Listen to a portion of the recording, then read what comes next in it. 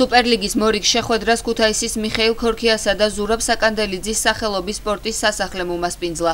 ერთმანეთს თბილისის დინამო და ქუთაისი 2010 დაუპირისპირდნენ. მასპინძლებისთვის წინა სეზონის ფინალისტებთან თამაში ძალიან დაძაბული და საინტერესო გამოდგა.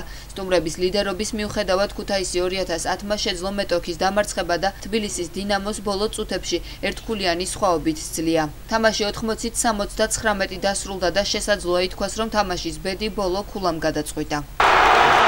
რა თქმა უნდა პირველ რიგში მე მიულოცავ ჩვენ გულშემატკივარს ამ გამარჯვებას იმ თითოეული ადამიანს მინდა დიდი მადლობა გადაუხადო ვინც დღეს თამაშზე მოვიდა. მე თამაშამდე ვთქვი რომ ძალიან მნიშვნელოვანი იყო ჩვენთვის გულშემატკივარის ფაქტორი და სწორედ მათი დამსახურება დღეს ჩვენი გამარჯვება მიუხედავად ძალიან დიდი ომისა ძალიან დიდი ბრძოლისა 40 წუთის განმავლობაში იყო მომენტები ალბათ როდესაც გუნდი შეიძლება გამწყდარი იყო მაგრამ სწორედ გულშემატკივარის დამსახურება ის რომ გუნდმა გააგრძელა ბრძოლა და ბოლო წამებზე ჩვენ სასარგებლო დავასრულეთ. თამაში მე ერთადერთ ვთხოვ მათ რომ ესე გავაგრძელოთ ერთად ერთად ისე როგორც ადრე ვაკეთებთ თამაშს ვიბრძოლოთ ჩემპიონობისთვის